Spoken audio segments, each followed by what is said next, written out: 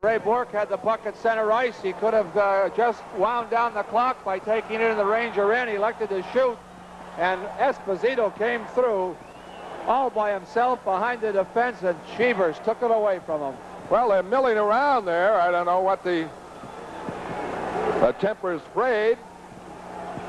Nobody's thrown a punch, but instead of going to the dressing room, they're milling around. The only one who's gone to the dressing room is Phil Esposito.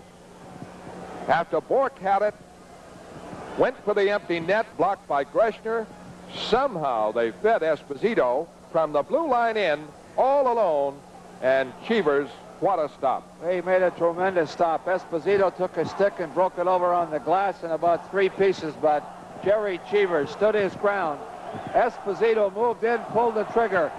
From Esposito's point of view, he did not get it as high as he would like to have, but I'll tell you, well, we got a little thing going on here between Beaton and, and Secord. Secord.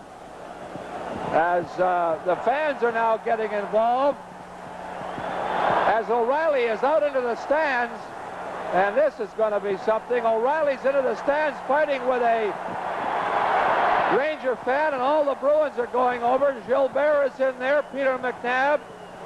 They're all into the stands. McNab's going up to grab somebody about seven or eight rows up. Well, this is too bad that after the game is over, it gets out of hand like this. And uh, you got to worry about a spectator. Well, the Bruins And- are at a decided disadvantage, Fred, with those skates, and uh, somebody could get seriously hurt. Oh, this does the game no good at all.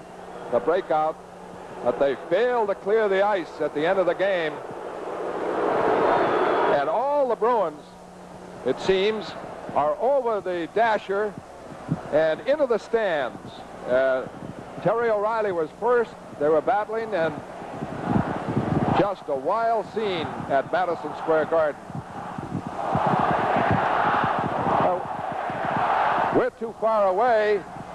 That's McNab, I believe, at the top part. I think I see Harry Sinden in that. Uh, I think Harry Sinden's over there with Freddie Creighton.